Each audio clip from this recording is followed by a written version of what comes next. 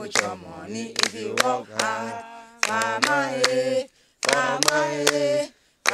With your money if you work hard. Cameroon recorded 250,000 tons of cocoa exports in 2016.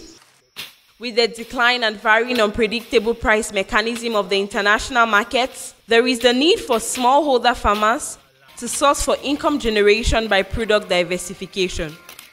We have a general tendency this year that the prices are so low.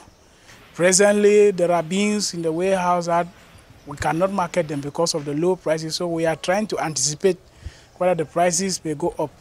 Within this context, can cooperatives commercialize other products than cocoa beans? We have gone into transformation.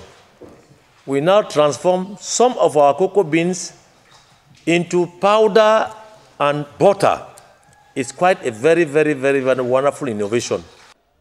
Soko Procaon and Bafiavcoup, cooperatives of cocoa farmers in the center and southwest regions of Cameroon, have been equipped with semi-industrial processing units for cocoa transformation into butter and powder under the project Green Innovation Center for the Food and Agricultural Sector, PROCISA. Behind me, you have the CBSC infrastructures. On my left is the processing unit. As we are talking right now, they are actually producing cocoa butter and cocoa powder. The processing unit is made up of an integrated system of equipment and compartments capable of transforming over one ton of cocoa per day. Nous euh, We have a screw press, which is the main machine of the factory, a roaster, a hydraulic press, a resistant oven, and a sieve. After the design and installation of the processing equipment, the beneficiary cooperatives have received capacity building by SNV on the utilization, maintenance, and management of these equipment. The trainees have been empowered on different aspects, including techniques of transformation, hygiene and safety, preventive and corrective maintenance, etc. They taught us hygiene in the morning, and now they are teaching us how to use the machines. The first course which we teach them is hygiene and safety. Then we teach them the semi-industrial processes and then ends with elements on maintenance. The product flow in the processing area begins with the reception of a verified lot of beans from the quality lab or warehouse, which are reweighed using a balance. Une fois les fèves de cacao au niveau de l'usine, Once the cocoa beans are at the factory level, we first sort the beans to remove waste, like moldy beans, the small beans which cannot give oil or pebbles. Petites fèves qui ne peuvent pas donner l'huile ou bien les, les cailloux. Et on commence d'abord par la toute première machine, là où partent. We start with the very first machine, where the work starts. A roaster that serves to roast and dry the cocoa further and simulate the butter. Et stimuler, n'est-ce pas, le beurre. Maintenant, nous prenons ce cacao Now we take the already roasted cocoa beans, which we pour into the hooper of the screw press, which grind the cocoa beans. On one side, we collect the cocoa butter, and on the other side, the paste or cakes.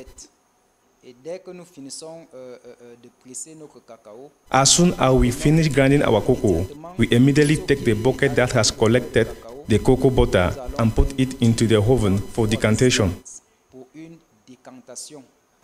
Pendant ce temps, During this period, we grind the resulting cake obtained that we collect in another clean container.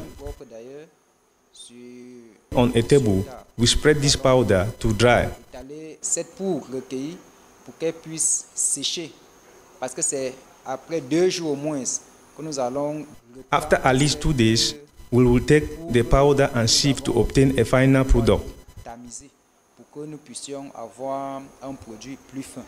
Fine cocoa powder and liquefied cocoa butter are measured into the various packaging containers, sealed, and the labels fixed on them.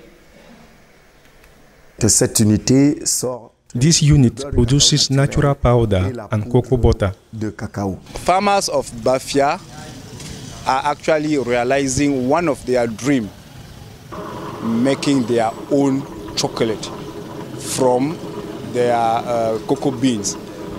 And that's actually the only way they will fully enjoy their efforts in their farms by transforming their cocoa beans and they can also enjoy by eating the transformed product made out of their own beans. For sustainability, the beneficiary cooperatives have been accompanied in the establishment of a management team led by a factory coordinator who oversees the daily functioning of the processing unit. He is closely assisted by a technical coordinator who assures the maintenance of the processing equipment as well as other support staff.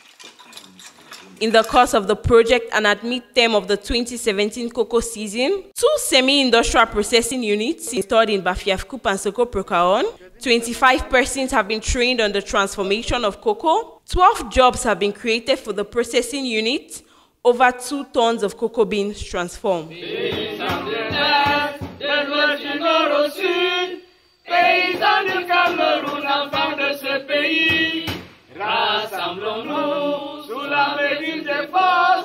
Travaillons de même que soyons unis, car c'est l'union qui fait la force, et sans union